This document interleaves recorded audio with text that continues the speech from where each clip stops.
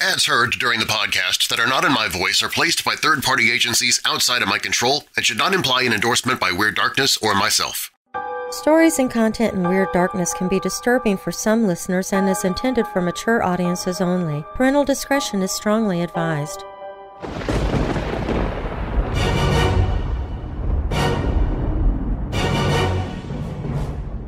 Welcome, Weirdos! I'm Darren Marlar, and this is Weird Darkness. Here you'll find stories of the paranormal, supernatural, legends, lore, crime, conspiracy, mysterious, macabre, unsolved, and unexplained. While you're listening, you might want to check out the Weird Darkness website. At WeirdDarkness.com you can find paranormal and horror audiobooks I've narrated, 24-7 streaming video of horror hosts and classic horror movies. Shop the Weird Darkness store for weirdo merchandise. Plus, you can visit the Hope in the Darkness page if you're struggling with depression, anxiety, or thoughts of suicide. You can find all of that and more at WeirdDarkness.com. Coming up in this episode of Weird Darkness. Weirdo family member Joy Smallwood shares a story she calls Dogs, They Know Evil. Clara Phillips and Madalynne Obenchain are mostly forgotten by history today, but in their times they were the most popular psychopaths in L.A. She wanders the road at night, haunting all those who pass. We'll take a look at the Bloody Bride of 13 Curves Road. But first, in 1991, scientists found a perfectly preserved corpse of a man encased in ice. And then, one by one, those scientists died. Now, bolt your doors, lock your windows, turn off your lights, and come with me into the weird darkness.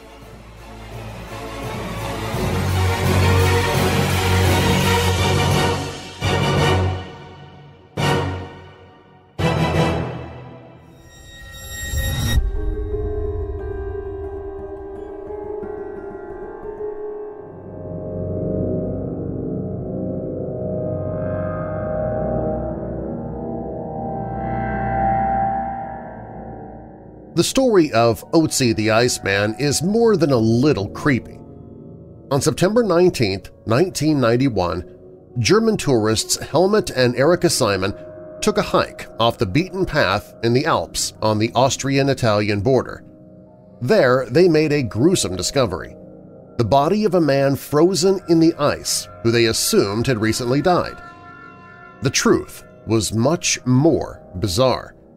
The body that came to be known as Otzi likely met his demise between 3239 and 3105 BC. The mummified remains were stunningly well preserved, and the Otzi Iceman discovery led to a legal fight between Austria and Italy. The valuable find promised to shed light on humans' distant past, and everyone wanted their chance to spend more time with Otzi. But that was before mysterious accidents and deaths began befalling those who came into contact with him. Despite everything that the Iceman offers to the fields of science and anthropology, people who have fallen victim to the Otzi Iceman curse probably wished he was still frozen on that mountain. The debate over whether or not the Otzi curse is real continues.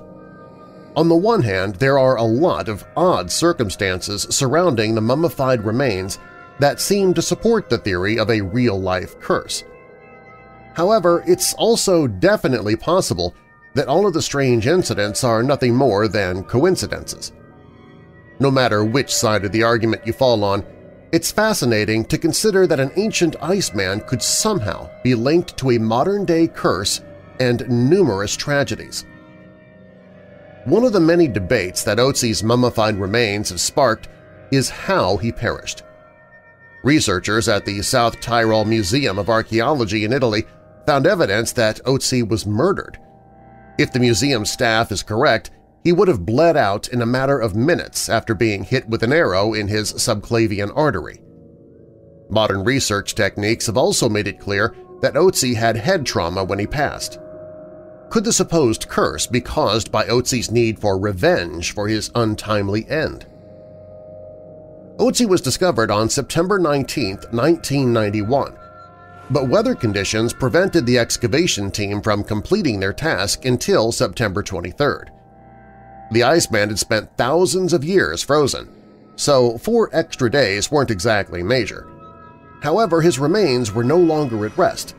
He was poked, prodded, and photographed before he was finally pried from the ice. If the Otzi Iceman curse is real, could part of the issue be that it took so long to uncover his remains? Or would the problem actually have started by removing him from his final resting place? Rainer Henn had the honor of placing Otzi's frozen remains into a body bag. Did this act ultimately cost him his life? In 1992, Rainer was traveling to a convention where he planned to talk about Otzi. Tragically, he got into a deadly accident and never reached his destination. This happened one year after Otzi was uncovered, making Rainer the first potential victim of the Iceman's curse. Kurt Fritz took his place in history by leading researchers to Otzi's body. He also organized the transportation of the ancient man's remains. An avalanche ended up claiming his life in 1993 when he was 52. Fritz was the only member of his expedition group who died during the avalanche. This could be nothing more than a mere coincidence, but it definitely seems odd, especially considering the fact that he was an experienced guide. Helmut Simon and his wife Erika discovered Otzi. They received a lot of media attention and eventually some compensation for their rare find. Unfortunately, Simon may have also received the Otzi Iceman curse. In October 2004, the experienced hiker disappeared in the Alps. Due to snowy conditions, it took searchers eight days to discover his body. Simon had fallen more than 300 feet to his death. Dieter Warnecke wasn't part of the original Otzi excavation or research crew, but his potential connection to the curse is still worth noting. When Helmut Simon disappeared in the Alps in 2004, Warnecke led a search team. They ultimately recovered Simon's body eight days after he went missing. Mere hours after Simon's funeral, the 45-year-old Warnecke had a heart attack and died. The world's leading expert on Otzi, Konrad Spindler, didn't believe in the curse. He even joked about it during an interview saying, I think it's a load of rubbish, it's all a media hype. The next thing you'll be saying, I'll be next. Indeed, Spindler was the next person associated with Otzi to die. He passed in 2005 due to complications from multiple sclerosis. Rainer Holtz was the only person allowed to film the recovery of Otzi's body, and he later turned his footage into an hour-long documentary. But showing Otzi's face to the world may have been a mistake. Holtz died from a brain tumor shortly after finishing the film. Tom Loy was the first researcher to discover extremely important evidence on Otzi's clothing. His findings indicated that the Iceman had died during a violent conflict due to the presence of multiple types of blood on the fabric and tools.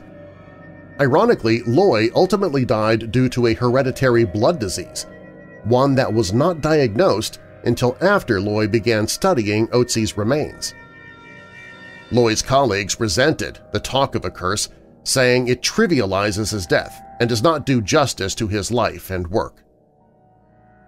As of 2017, seven deaths have been linked to the discovery of Otzi. It seems like a high number until you consider the hundreds of people who have been involved with Otzi research projects over the years. Everyone from reconstruction artists and DNA experts to the museum's ticket booth salespeople has a connection to the ancient Iceman. In other words, if there really is a curse, there should be many more deaths. Perhaps Otzi only went after individuals related to the original discovery of his body. Or perhaps these tragedies are nothing more than deeply unfortunate coincidences. The fact that Otzi's discovery has been associated with so many deaths isn't exactly a new concept for starters. Cultures have connected disturbing human remains with curses for centuries, if not thousands of years. This trend was especially prevalent in ancient Egypt, where it was considered extremely unlucky to desecrate the grave of anyone, be they pharaoh or enslaved person, although the threats tied to disturbing a pharaoh's resting place tended to be a lot more extreme. Whether or not Otzi was seeking out revenge on those who disturbed him or not, his curse is far less famous than that of King Tut. When the tomb of Pharaoh Tutankhamun was uncovered in 1922 by Howard Carter, it sparked the beginning of the age of Egyptology. But it also sparked a media storm after a number of people associated with the excavation ended up perishing under bizarre circumstances.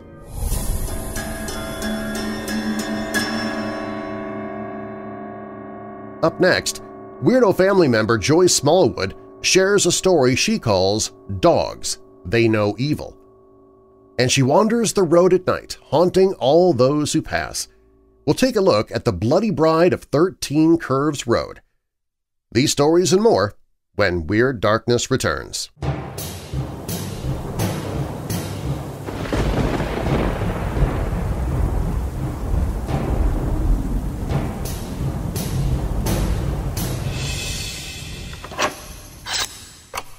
Hey Weirdos! Well, the thriller-slash-horror movie that I've been involved with has been extended a few more days for filming. It was just taking longer than everybody thought, so we've had to extend it through the weekend, which means I won't be back in studio until Monday, October 28th. So a few more days of me not being able to give you Overcoming the Darkness fundraiser updates. But that doesn't mean that the fundraiser is slowing down at all. We still need your help in raising as much as we can to help people who struggle with depression. The fundraiser ends at midnight Halloween night, so please give today and give as much as you can, and I'll give you an update as soon as I get back on Monday assuming I get back on Monday and that they don't expand the filming dates yet again. Hey, you never know. It's the film industry. what have I gotten myself into?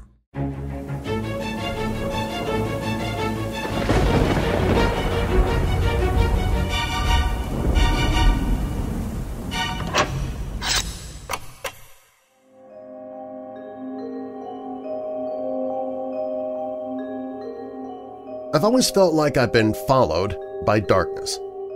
This is simply one of many, many things I've experienced. I grew up in a very disturbed neighborhood. Always neighborly drama, fights, and even death. The cops always showed up in our street due to the amount of issues. The neighborhood wasn't very safe, so every house had gates and iron surrounding the windows, doors, and garages. Honestly, most of everybody in the neighborhood had dogs, large dogs to ensure protection. So it wasn't unusual for us to hear barking all day long. We were used to it. My family and I had a dog as well, a mutt mixed with German Shepherd and some other breed that I didn't know of. He was very protective of us, and he was a big, big dog, and he barked at basically anybody that came near our house. But at night, when everybody went to sleep and there was no activity in the streets, the streets were dead silent. No noise, no barking, no nothing. It was the only time we actually had some peace. My bedroom window faced the garage, in other words, the front of the house. My dog slept in the garage since it was open, only fenced around it, and we didn't have snowy cold winters, so he was pretty content out there. But moving on, I remember one night. I woke up to my dog angrily barking outside. It was very late. I looked at my watch and it was 2 a.m. From my bedroom I could yell, "'Shut up, P! Be quiet!' He was loud, very, very loud. I thought he saw an animal or something on the streets, so out of curiosity I looked out my window and I… I saw nothing. The street was dead. There wasn't even the sound of crickets. Very eerie, to be honest, but I was too tired to make any thinking of it. After telling him to stop barking, P stopped for a couple of minutes, but then he started again, only this time he was very, very angry. His barking was protective. Something was right in front of him in order to tick him off that way. I got scared at this point. I mean, what in hell? Is someone trying to break in? I asked myself. I looked out of my window again, and yet I couldn't see anybody out there. But when I looked at P, he was barking right at the gate. He was trying badly to get a hold of whatever or whoever was in front of him. It felt like it was taunting him. I'm not going to lie, an overwhelming feeling of there's something out there took over. I could see in P's eye that he was indeed looking at someone. It was an uneasy, eerie feeling. I've seen ghosts before, but this, this energy was not it. Whatever it is, it was evil, and I could tell it was also watching me. I tried to brush it off. I did try. I asked P once more to be quiet and said that there was nothing there. Here I am, trying to lie to myself so I can feel at peace again. But as soon as I talked to P, he barked once more and then all of a sudden he started whimpering. I didn't see anything hitting him, but P cowered himself to the corner of the garage and started crying like he was terrified. What in hell did that to P? He was not scared of anything, and there he was, curled up in a ball, laying on his own submissive way. I froze. What was that? All I know is that P and I were not alone that night. Something evil, nasty, eerie, terrifying was out there, looking at me, taunting my dog. Deep in my heart, I know it wasn't just a supernatural energy coming from a ghost. It was straight from hell. Nothing in the world will convince me that what happened that night wasn't demonic. I could feel it. I picked up my dog and took him inside. He was never the same after that night. Trust your dogs. Trust the animals because they see what we can't, and they know what's from this world and what isn't.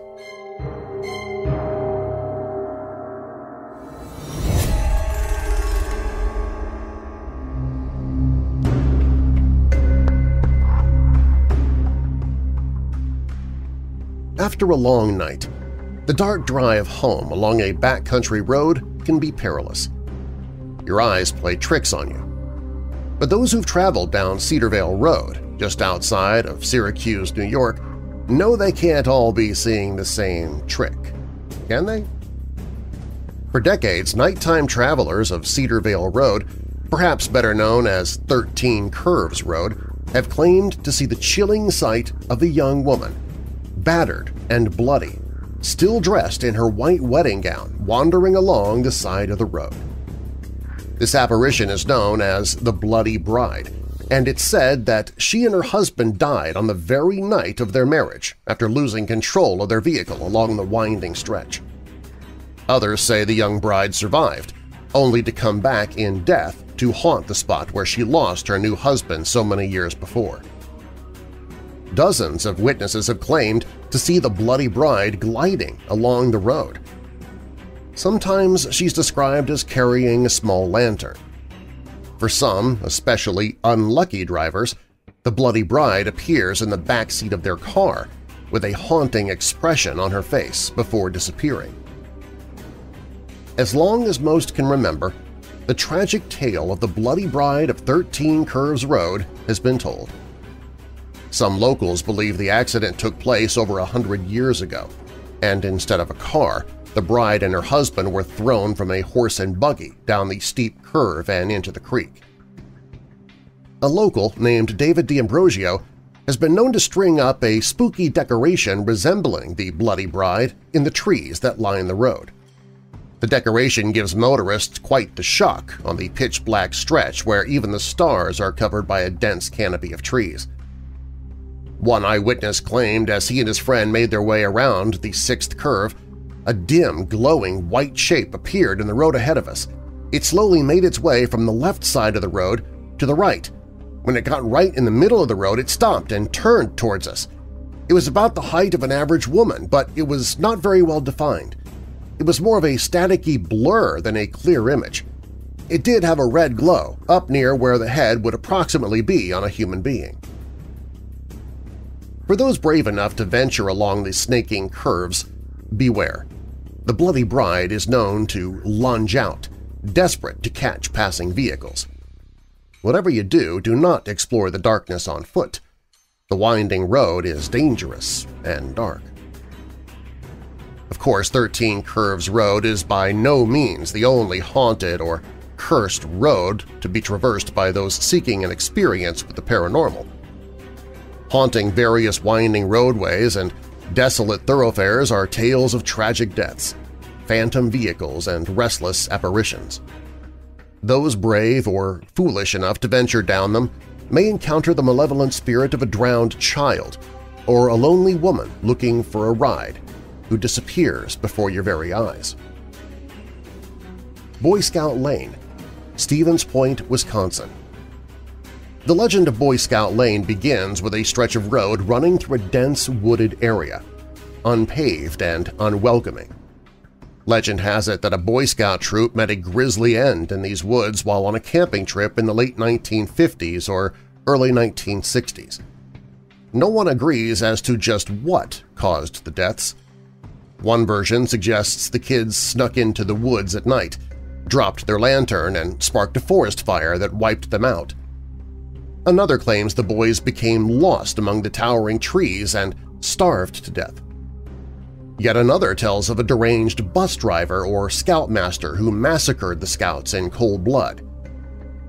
The truth is that the Boy Scouts of America once owned this tract of land. They planned to build a campground, but it was never constructed. Those who travel down Boy Scout Lane today report hearing the sound of many footsteps struggling through the brush. Some have caught sightings of red lights shining through the trees, thought to be the ghosts of lost scouts searching for a way out of the woods. Prospectors Road, Lotus, California The rolling hills alongside California's Prospector Road sit above old mines, most of which have since caved in. In some cases, the collapse reportedly occurred with miners still inside, leading to premature burials. As for the men who worked above ground during the California Gold Rush, greed and desperation cracked any moral compasses they once possessed. Several miners struck gold along Prospector Road during the 1800s, attracting more men desperate to make it rich. Consequently, the area became a busy and dangerous place. Territorial arguments were common. If anyone came in between another man and his potential riches, they were sure to meet a bloody end. Visitors today may very well be traveling over the unmarked graves of lost prospectors. One restless soul is said to still haunt the road. He appears from the bushes at night, warning intruders, get off my claim. Route 2A, Haynesville, Maine. As the country song by Dick Curless says, it's a stretch of road up north in Maine that's never, ever, ever seen a smile. If they buried all the truckers, lost them in the woods, there'd be a tombstone every mile. Yet what haunts Route 2A isn't the ghost of a burly trucker barreling by at night. Instead, the specter is of a young girl, wandering alone down the roadway. The legend goes that she was hit by a truck and killed instantly during a walk along the woods in Haynesville, Maine. Records do indicate that two 10-year-old girls died on August 22, 1967 along the road. Today, motorists say they've seen a ghostly figure walking beside the Haynesville woods, appearing lost and confused. Some claim to have stopped and offered her a ride, only to have the phantom passenger vanish from her seat shortly after climbing in. Stocksbridge Pass, Sheffield, England Described as Killer Road because of its many accidents and deaths, Stocksbridge Bypass is the site of numerous haunting tales. Some have seen children dressed in outdated clothing playing under the Pearoyd Bridge late at night. Startled, the drivers swerve to avoid the children, only to look back and see no one present. Witnesses have also encountered the eerie figure of a monk wandering the roadway, it's said that the monk left a nearby priory many years ago. Now his disillusioned spirit wanders the road, staring at drivers as they pass. Karak Highway, Malaysia. It all started with a young couple and their newborn baby driving down the Karak Highway. All was going well until their car broke down. The husband pulled over and inspected the car. He then decided to set out to the nearest phone booth, leaving his wife and new baby behind. Hours passed, and the wife grew distressed. Not wanting to abandon the car and search for her husband alone, she waited. Finally, she decided to step out, only to feel a terrible presence lurking behind her. Upon turning around, she encountered a severed head of her husband, propped on top of the car. Today, the wife's spirit is said to haunt the road in search of her husband. Other ghost stories associated with Karak Highway involve a phantom yellow Volkswagen that repeatedly appears before motorists no matter how many times they try to pass it, and a young boy with bloodied eyes who wanders the roadway. If approached, the figure says he's looking for his mother. And of course what is possibly the most infamous of all cursed streets, Clinton Road in New Jersey. While I've covered Clinton Road in the past here on Weird Darkness, it's hard not to include it again when talking about haunted highways. If you've ever wanted to play a game of catch with a ghost boy, race a phantom Camaro, or encounter a mythological beast, Clinton Road should be your next destination. Just climb in your car, going with a friend is recommended, and hit the road. Rural New Jersey's Clinton Road will certainly make your skin crawl. A number of haunts and strange buildings are reputed to make Clinton Road their home. Depending on what time of day you drive through, you may encounter one, two, or all of these Clinton Road legends. Under one of the bridges crossing Clinton Brook, also known as Dead Man's Curve, you can find one of the road's most famous haunts. Rumor has it if you throw a quarter into the water below, then take a few steps back, the quarter will be thrown back by the ghost of a boy who drowned while swimming. In some stories, the ghost shoves the living visitor into the water if they peek too far over the side of the bridge. There are first-hand accounts of tourists and locals seeing a ghost Camaro driven by the girl who supposedly died in a tragic crash in 1998. This appearance is triggered by a mere mention of the incident. Others claim to have had encounters with two park rangers near Terrace Pond who are thought to be the ghosts of two rangers who died while on duty in 1939. There are countless accounts of phantom vehicles. The majority of the sightings are of pickup trucks, but in some cases there are only floating headlights not attached to any vehicle. The headlights chase drivers to the end of Clinton Road, then disappear. From hellhounds to monkeys, a variety of bizarre creatures have supposedly been seen on this road at night. In some cases, people report seeing an unidentifiable hybrid which vanishes too quickly for them to get a good look. The more exotic sightings are blamed on survivors of jungle habitat, an attraction which housed wild and exotic animals before closing its doors in 1976. There is also a strange druidic temple this oddly shaped stone structure is said to be the place where local druids practiced their rituals. Legends tell of awful things happening to those who look too closely or come too close to the ruin at the wrong time. In more historical terms, the building is actually the remains of an iron smelter from the Revolutionary War and the War of 1812. The site has now been blocked off to prevent any injury caused by exploring such a rundown building. Another man-built structure of the Strange off Clinton Road is Cross Castle. In 1905, Richard Cross built this castle near the Clinton Reservoir for his wife and three children. A few years later, it fell to ruin after a fire destroyed part of it. It has since become a popular destination for hikers and local teenagers looking for secluded places to camp and have parties. Many visitors have reported strange occurrences near the site. These include people who've gone into seizures, bruises which randomly appear after visiting, and strange and disturbing visions after leaving. Satanic symbols have appeared on the inside of the castle's walls in areas that were previously thought to be inaccessible. In 1983, a body was found in the woods near Clinton Road. An autopsy showed the man had been murdered, as well as something even stranger. Ice crystals had formed in blood vessels near his heart. His internal organs had also decayed at a rate far slower than his skin. After a drawn-out investigation, an arrest was made in 1986 of Richard Kuklinski, also known as the Iceman. Kuklinski was a New Jersey native and hitman involved in organized crime with local mafia.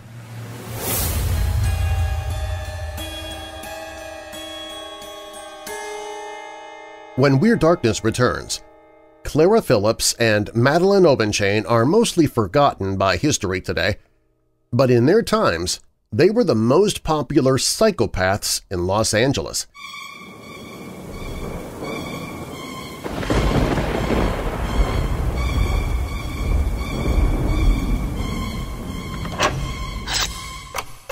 You've been hearing me tell you the past few days about how I'm on a film set for a horror movie right now. If you've ever done something like that, you know it's early morning call times, late night shoots, and then doing it again the next day and the next without a break. I used to rely on energy drinks to get me through those long days, but while it kept me awake, I was not actually feeling alert and energized. And it was a ton of empty calories with zero health benefits. Fortunately, I have Magic Mind mental performance shots now, giving me natural energy and focus. I found that taking mine around noon each day keeps me focused and motivated throughout the afternoon and evening. I don't have the caffeine crash either, so I don't need that afternoon nap anymore, which is something you cannot do on a movie set. That would probably be frowned upon by the director. As a Weird Darkness listener, you can get a huge discount on your subscription of Magic Mind Mental Performance Shots, 48% off. Just visit magicmind.com slash weirddarkness and use the promo code darkness20 to get the deal. If you want to try it without a subscription, you still get a great deal with 20% off your one-time purchase. I've made Magic Mind part of my daily routine, and now it's part of my movie-making routine. MagicMind.com slash WeirdDarkness and then use the promo code DARKNESS20 to get 48% off your subscription or 20% off your one-time purchase magicmind.com slash weirddarkness, promo code darkness20. Uh, I wonder if we should put a special thanks in the movie credits for Magic Mind. This movie made possible by Magic Mind because Darren would be too exhausted otherwise. Huh. Well, maybe.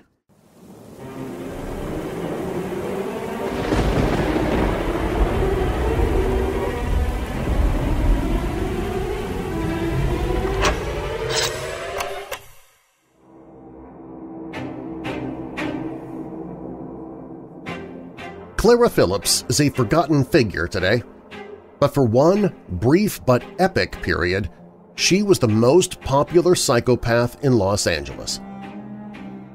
Phillips' road to stardom began on a hot July evening in 1922 when the 23-year-old arrived home, spattered with blood, and announced to her husband Armour, "'She's dead! I killed her!' Her was Armour Phillips' mistress, Alberta Meadows. When Phillips saw that Clara had driven home in Meadows' car, which contained more blood and Alberta's purse, he realized his wife was a woman of her word. He asked Clara what she was going to do. "'Nothing,' she replied. "'I'm going to bed now and to headquarters in the morning.' Armour, who actually comes off as the stranger member of this very strange couple, thought otherwise. He had Clara drive Meadows' car to Pomona, where she abandoned the vehicle. He picked her up in his own car and deposited her in a downtown hotel. Armour then spent the rest of the night frantically raising enough money to send this admitted killer to Mexico. By morning, he had enough cash to send Clara off on a train bound for El Paso. Only then, evidently, did magic little words like accessory to a crime and perverting the course of justice begin to filter into his brain. He went to see a lawyer friend of his and, to the future disgust of Clara's fan club, he told all. The story he gave to this attorney and subsequently to a member of the Los Angeles Police Department was one that held Angelenos enthralled for weeks. On the day of the murder, Clara had brought a friend, Peggy Caffee, along with her to have a talk with Alberta Meadows.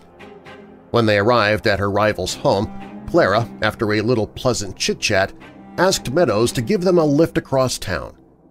Meadows, for who knows what reason, agreed. During the drive, Clara continued amicably chattering away about this and that until they reached a hilly, remote section of their drive. She asked Meadows to stop so they could talk more privately. When the two women got out of the car, Clara had a couple of questions for Meadows. Had Armour bought the new tires that were on her car? No, Meadows replied. Did he buy that gold watch Meadows was wearing?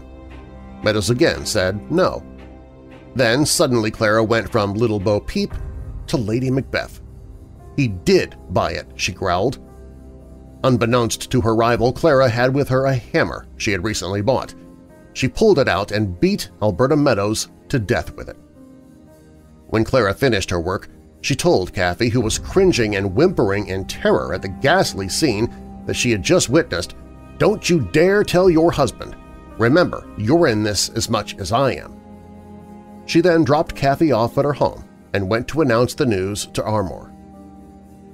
Once the LAPD got an earful of Armour's story, they already had had an eyeful of the mangled corpse that was once Alberta Meadows. They wired an alert to the authorities in Arizona and Texas. Clara was nabbed on a train in Tucson and hauled back for trial and instant stardom. The Tiger Woman, as the papers dubbed her, was a media sensation. Her combination of youth, good looks, and undeniable savoir-faire and can-do spirit kept a growing legion of admirers enthralled. By committing a particularly base, gruesome, shocking murder with an utter lack of any conscience or remorse, she became a heroine. While she was awaiting her trial, one local paper cooed, In the face of many extreme discomforts, she has taken everything cheerfully. She is tolerant. She has never yet uttered a single complaint. She has never asked for anything, taking all things as they come without a whimper. Alberta Meadows was unavailable for comment. A large, admiring crowd met the train bringing Clara back to Los Angeles. She beamed at her fans, posed prettily for photographs, and merrily flirted with the reporters. When she was installed in the county jail, she said she was sure she would be happy up here because everyone was so jolly and happy more people were there to cheer her on. They sent her flowers, candy, love letters. In her cell, she spent most of her time eagerly reading the many newspaper reports about her crime. Clara Phillips, the former two-bit chorus girl, had finally become a headliner. Clara's first meeting with her husband since the day he saw her off to Mexico was front-page news. Clara dolled herself up for the occasion with a new lace-edged dress and held a little press conference beforehand. A reporter asked if she still loved her husband. Yes, she replied sweetly. Had their nine years of marriage been one long honeymoon? Well, I guess so. That is, yes and no. To those members of the press tactless enough to mention the reason why they were all there, she replied demurely that she was not allowed to comment on the subject. Was it true that she had once created a scene in her husband's office because she was jealous of his stenographer? No comment. Was it true that she had once stabbed a man in a local theater? Definitely no comment. Armour finally appeared on the scene, wearing a dapper suit and carrying a box of candy. As one of the newspapers breathlessly reported, Clara threw her arms around her husband she looked up into her husband's eyes and then buried her fluffy brown head of hair on his shoulder. She cuddled to him as a dove would to its mate, and when he kissed her and whispered to her, she played with the lapel of his coat. Clara's legions of fans were, of course, expecting to see her greatest performance to date at her trial, and the lady did not disappoint. Each day she swept in and out of the courtroom like a mezzo-soprano coming on stage for one more encore. A woman covering the trial for one of the local papers sighed, There really is some class to Clara. If she isn't a gentlewoman born, she is certainly what Elinor Glyn would call one of nature's ladies. It was Armour Phillips who cut such a pitiful figure compared to his hammer-wielding dynamo of a wife who bore the brunt of public opprobrium. One journalist openly expressed his incredulity that Mr. Phillips could have been responsible for all this bother.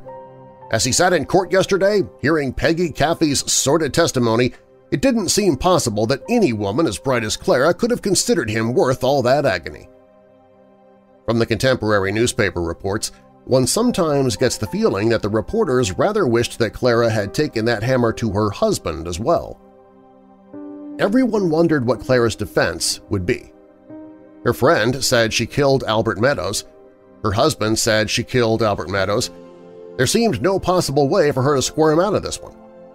Clara showed the naysayers a thing or two. When she took the stand, she, with a few demure tears, explained how Alberta died.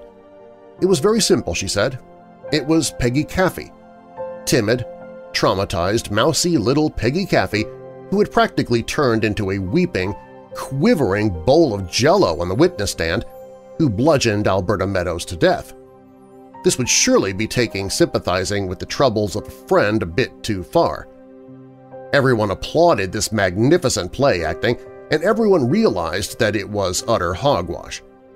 In the end, Clara was convicted of second-degree murder, which earned her 10 years to life in San Quentin, and it seemed that the curtain had at last fallen on her little show.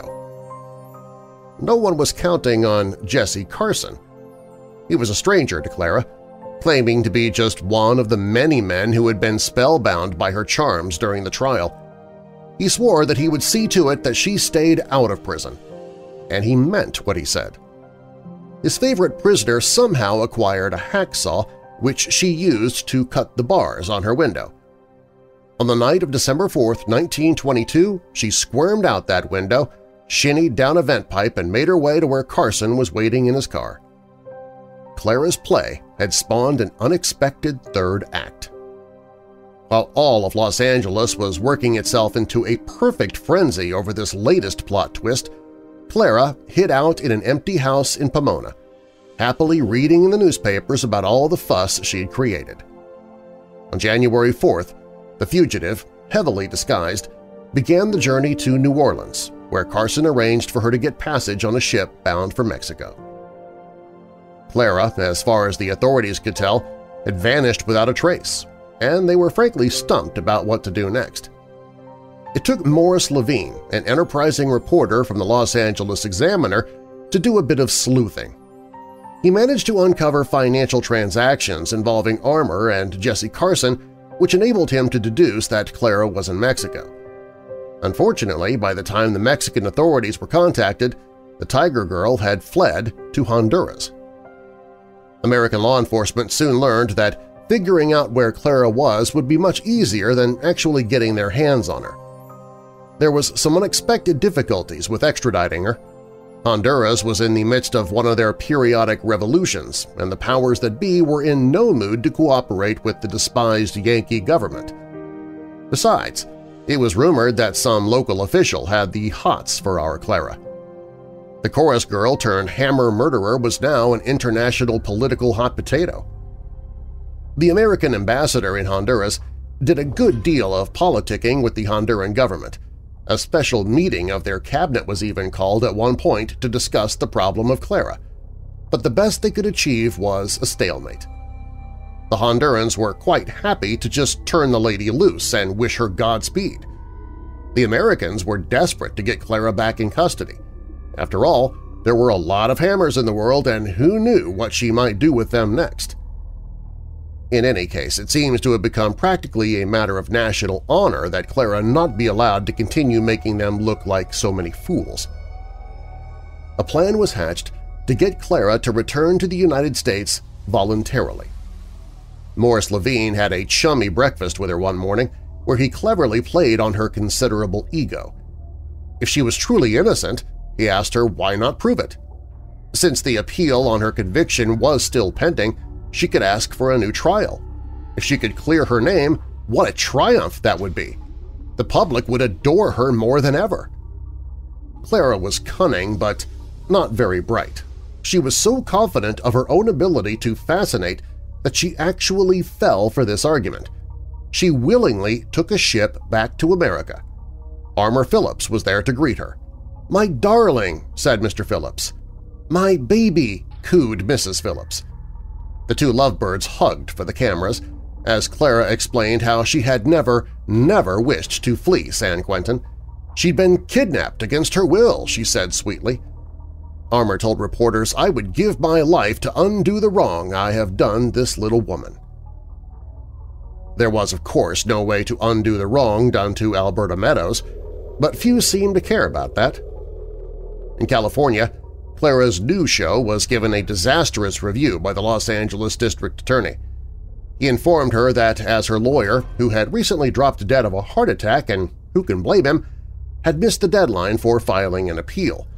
The law decreed that she be returned to prison without another trial. It was back to San Quentin for Clara with no hope of a repeat performance to clear her name. To do her justice, Clara took this defeat gallantly. She went back to jail vowing to be a model prisoner, and for the most part she kept her promise. Her one fall from grace was when she entered into a clandestine love affair with one of her fellow prisoners, a handsome young burglar.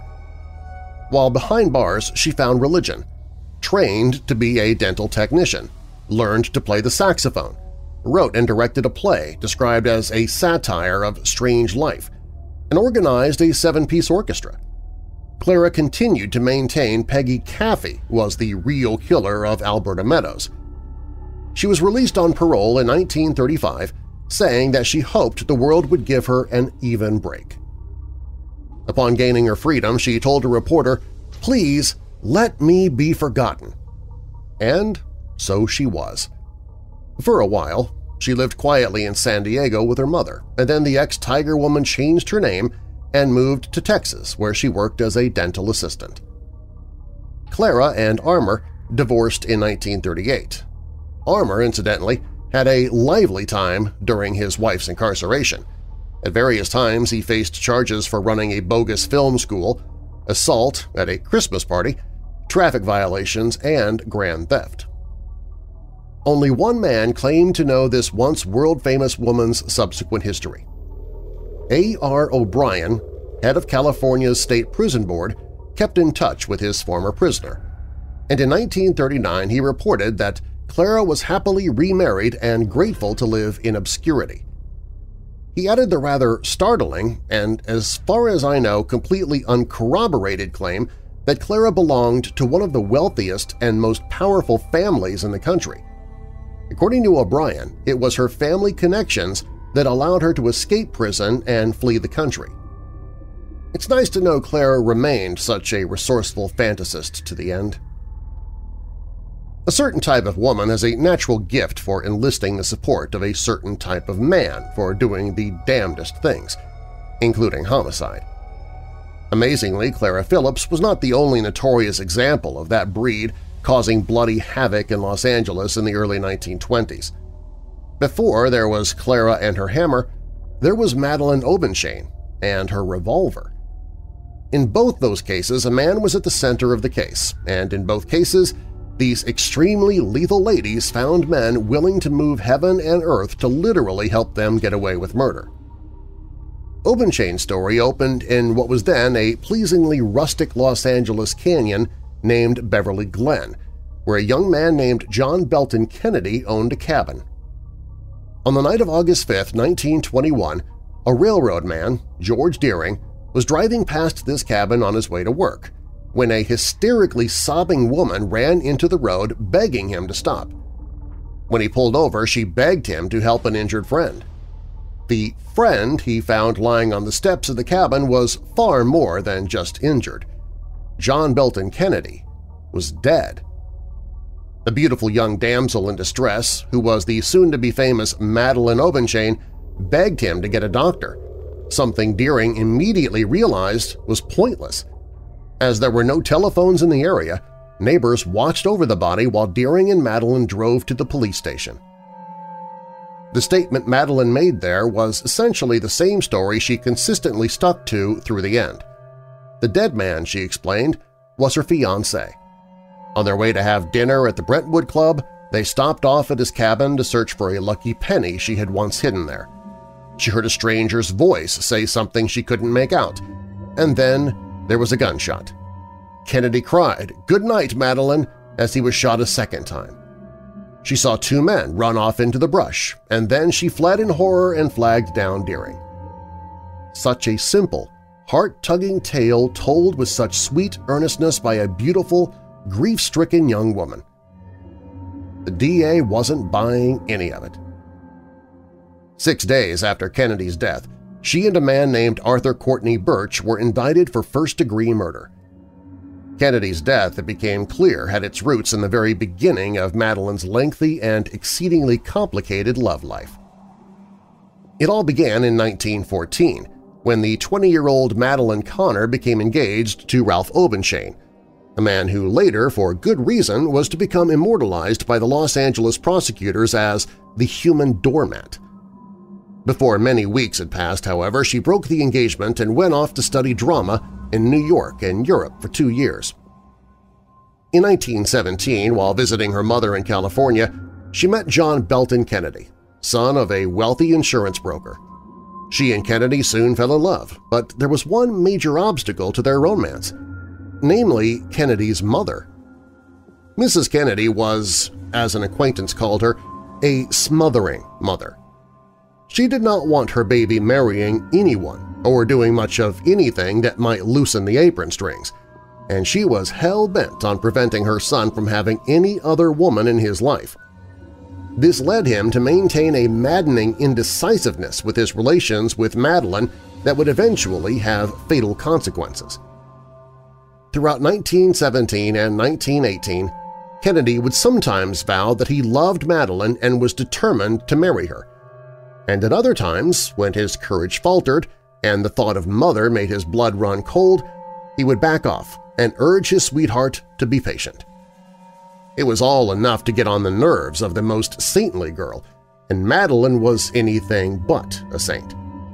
In the midst of all of this, Ralph Obenchain suddenly swooped into town to offer her his devoted shoulder to cry on. The upshot was, as the lady later put it, she was engaged to Belton Kennedy, but somehow she married Mr. Obenchain. Her marriage did not prevent Kennedy from pleading with her to take him back. Within four days of the wedding, the two of them were again romantically involved. Within three months of the wedding, Obenchain agreed for his precious Madalynne's sake to go back to Chicago and allow her to divorce him. Every week he sent her $80 in alimony and frequently signed blank checks as well. Madalynne relocated to Evanston, Indiana to await her divorce, not to mention Kennedy who had promised to meet her in Chicago. While there, she became reacquainted with yet another old male admirer, Arthur Burch. He took her for car rides and did her grocery shopping. Madalynne got her divorce, but her man failed to materialize. After a few months, she again got fed up with this male tower of mush and wrote Kennedy a letter vowing to go back to Obenchain if he did not immediately come to Evanston. Kennedy stayed in Los Angeles, and Madalynne again swore that they were through forever. However, she did not follow through on her threat to give Obenchain another chance. After several months, she got a letter, rather past its sell-by date, from Kennedy announcing that he was coming to claim her. She sent a frantic reply asking if he'd lost his mind entirely and declaring that I wouldn't marry you even if I were free to do so, ever. In January of 1921, she returned to Los Angeles. Shortly after that, Kennedy was begging to be allowed to call on her, and by April, those two masochistic lunatic lovebirds were re-engaged. They planned on May 5th to take the train to San Francisco and get married, Mrs. Kennedy be damned. At the station, however, Madalynne had second thoughts. She went to Chicago instead to talk the whole situation out with Ralph Obenchain, Kennedy promised to meet her there. He didn't. Madalynne consoled herself with some traveling through Canada down to San Francisco. She was, she later said, on the point of going to Honolulu and forgetting about men altogether when she was bombarded with letters from J. Belton Kennedy begging her to come back to Los Angeles and his waiting arms. For reasons that escape me, she did return to L.A., but she held off on the waiting arms. The two continued their same old dance routine. Belton begged her to marry him but never worked up the courage to actually take steps in that direction. Madalynne held him off, but never completely severed contact with him either. In the meantime, back in Chicago, Arthur Burch was also in regular contact with Madalynne, urging his goddess to return and settle down with him. On August 3, 1921, she wrote in her diary, I am so tired of trouble. The trouble, of course, was just beginning. At the end of July, Burch took the train to Los Angeles. A Pullman porter later testified he was carrying a shotgun with him. Upon his arrival, he took a hotel room, one that was directly opposite the offices where Kennedy worked, and rented a car. The hotel manager was to say that on July 26th, a woman he identified as Madalynne visited Burch in his room. A quaint touch of bygone days, city law insisted that the hotel room door be kept open during her visit, for the sake of public decency. The proprietor testified that Burch and Madalynne spent their time gazing out the window in the direction of Kennedy's office. On the afternoon of August 5th, a woman phoned the hotel asking for Burch. As he was out, she left a message that his cousin had called. When Burch got the message, he left, returned after a while, and soon left again, carrying an item wrapped in newspaper that the manager thought looked very like the shape of a shotgun. The next morning, Burch checked out, very unwisely leaving behind him newspaper stories discussing Kennedy's mysterious murder and a telegram from Evanston. Having noted from the newspapers that Madalynne Obenchain happened to be from that city, the hotel manager decided to have a chat with the DA. His story, along with the fact that tire marks found on the murder scene matched those of the car Burch had rented, was enough to land Burch and Madalynne under arrest. They were left to reflect on the odd turns romance can take until their trials began. The prosecution essentially argued that J. Belton Kennedy's behavior as a lover was enough to make any woman reach for a gun. And to be honest, it's a hard assertion to argue. Madalynne, for her part, maintained that her memory simply went blank after she heard the first gunshot. Burch, she stated, was nothing but a dear, platonic friend who was highly supportive of her feelings for her true love, J. Belton Kennedy. What one reporter described as Madalynne's habitual maimed look of a dying antelope had an irresistible force on some men. As soon as she was arrested, she wired an SOS to Ralph Obenchain, who immediately quit his job and rushed to Los Angeles vowing to save her. He topped it all off by obtaining a marriage license and asking to remarry her in the county jail. An unsentimental judge vetoed the idea. Obenchain went on to make the most of his new fame by co-producing and starring in A Man in a Million, a film dramatizing his life and romance with Madalynne. It was announced that he would make personal appearances wherever the film was shown, and donate the profits to his ex-wife's defense fund. But alas, most theater owners refused to show his project, huffing that they wanted pictures that were suitable for public showing without resorting to sensationalism as a basis. Madalynne's dying antelope look must really have been something. From this distance in time, it's hard to figure what anyone saw in this woman, but during her incarceration she made many warm friends among men and women alike, when Clara Phillips joined her in prison, the two became pals, and oh, what girl talk they must have shared. Even some of the jurors would later openly fall under her spell. When she spent her first Christmas in prison, she received over a hundred gifts, including a $1,000 bill. The newspapers wrote about her as if she'd been Lillian Gish starring in her latest melodrama rather than a murderess awaiting trial. They even published her poetry, Oh, darling boy of my yesterdays, if you but only knew how even now my hopes and plans hold no one else but you. I'm sorry I returned here, for my heart will surely break. But you said, if I couldn't forget you, to come back, dear, for your sake. It was fortunate for Madalynne that bad verse was not a criminal offense. If it had been, she could have scarcely avoided the electric chair. Madalynne and Burch were tried separately, with the gentleman going first. Various people testified to seeing Burch and his car in the vicinity of the murder scene. But the most startling moment of the legal proceedings came when Chandler Sprague, a reporter from the Los Angeles Examiner, announced that in exchange for $4,500, Burch gave him an interview stating that Madalynne had enlisted him to murder J. Belton Kennedy, who was an evil influence over her. The lady certainly had a knack for attracting men who were both weak in the will and weak in the head. Burch, of course, denied he had said any such thing, even after Sprague also revealed that he had cannily secretly made an audio recording of the defendant admitting that Sprague's initial story about him was true. Fortunately for Burch, it was ruled that his little moment of soul-bearing could not be used as evidence. Burch's defense was simple. He wasn't there at the time. Even if he had been, he didn't shoot Kennedy, and none of this mattered anyway because he was mentally incompetent. The trial ended with a hung jury. His second trial had the same inconclusive result. When a third effort to send Burch to jail ended with yet another deadlocked jury, the DA finally gave up and turned him loose. Madalynne's trials – yes, I used the plural, trials – were enlivened by the revelation that she had spent her time in jail getting romantically involved with yet another man who saw those antelope eyes and found them a temptation not to be resisted. He was Paul Roman, a convicted felon who had made her acquaintance in the county jail before he was packed off to Folsom.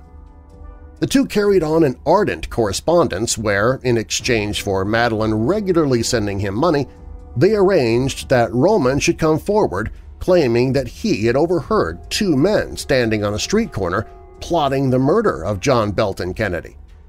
Instead, in the hope of getting a reduced sentence, Roman ratted, and Madalynne had the embarrassing experience of hearing her love letters to him read aloud in court. Tonight I have a little pale pink rose near me. The rose will be your soft, warm lips, dear Paul.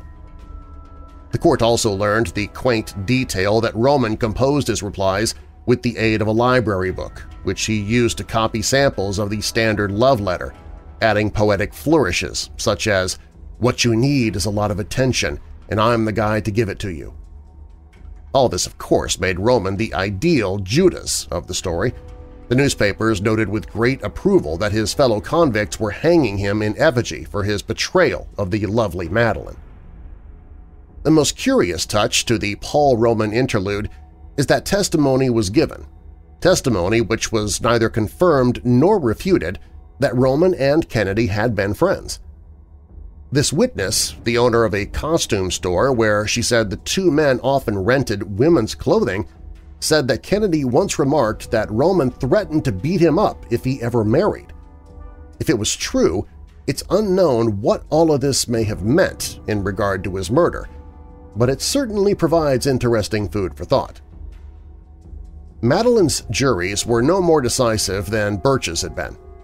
Trial number one – hung jury. Trial number two, ditto. Five trials. Five panels hopelessly unable to agree that these two spectacularly incompetent, stupidly crude, blatantly self-incriminating defendants were guilty. Rumor had it that enough of the male jurors became enamored of Madalynne to ensure hopeless deadlock. Never underestimate the power of a dying antelope gaze. After her release, Madalynne spoke dreamily of serving humanity in a leper colony in the South Seas. She instead settled for a bungalow in Eagle Rock where she studied acting, hoping to use her undoubted thespian talents for a more reputable sort of fame. Those hopes were alas unfulfilled. A few years later, she was back in the news briefly when Paul Roman, who'd been released from Folsom, made a nuisance of himself by hanging around her house and threatening to kill her. He was sent back to jail, and her life quieted down again. Early in 1927, Burch had John Belton Kennedy's father arrested on a charge of assault and battery. It seems that John D. Kennedy entered the building where Burch worked and did his best to choke him. The jurors of Los Angeles may have been uncertain about how John Belton met his death, but Kennedy Sr. wasn't. An obviously sympathetic judge gave Kennedy a suspended sentence of 30 days and the advice that if he should encounter Burch again, he should simply go to the other side of the street. Our heroine last made headlines when Arthur Burch died in 1944. His will left his entire estate to, quote, my lifelong friend, unquote, Madalynne Obenchain. Madalynne tactfully rejected the bequest, and the court wound up dividing Burch's money and property between his mother and his son.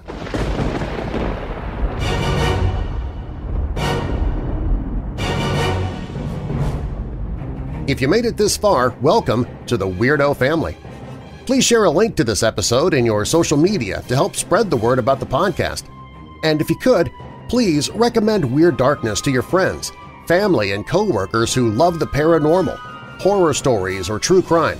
Maybe they'll become a Weirdo family member too. And thanks in advance for doing so. Do you have a dark tale to tell of your own? Fact or fiction, click on Tell Your Story at WeirdDarkness.com and I might use it in a future episode. All stories in Weird Darkness are purported to be true unless stated otherwise, and you can find source links or links to the authors in the show notes. Curse of the Iceman is by April A. Taylor for Ranker. Dogs They Know Evil is from Weirdo family member Joy Smallwood. Los Angeles' Favorite Murderesses was written by Robert Wilhelm for Murder by Gaslight and The Bloody Bride of 13 Curves Road was written by Jessica Ferry, Audrey Webster, and Jamie Bogart for the lineup. Weird Darkness theme by Alibi Music. Weird Darkness is a registered trademark. And now that we're coming out of the dark, I'll leave you with a little light. 1 Peter 4 verse 10 Each of you should use whatever gift you have received to serve others, as faithful stewards of God's grace in its various forms. And a final thought, most of us are just about as happy as we make up our minds to be. Abraham Lincoln I'm Darren Marlar. Thanks for joining me in the Weird Darkness.